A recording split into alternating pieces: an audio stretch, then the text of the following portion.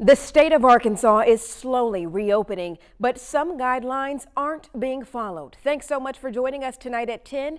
I'm Marlisa Goldsmith. Videos like these were sent to us over the last few days showing huge crowds gathering at local stores. THV 11's Ashley Godwin set out to see how shoppers are feeling and what the governor says should be done.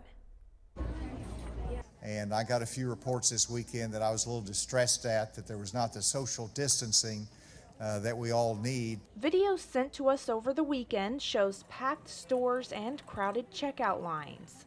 And then again Monday.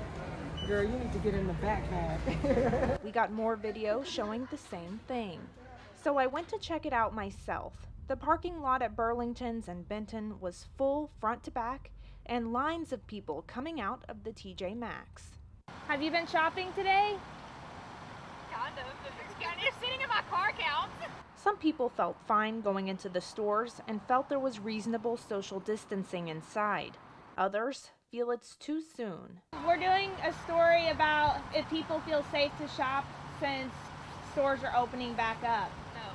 Governor Hutchinson had something to say about stores that don't seem to be following the social distancing guidelines. He says it's up to them to make sure that their customers are following the CDC protocols.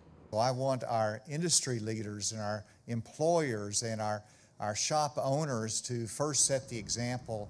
And I think that you'll see when they take it seriously that others will take it seriously as well. In Little Rock, Ashley Godwin, THV 11 News.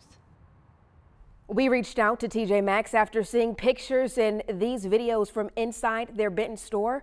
We received a statement from the company that says in part, quote, we have implemented occupancy limits, expect all customers to wear a face covering, and are encouraging social distancing with signage, regular in-store announcements, and markers in our queue lines.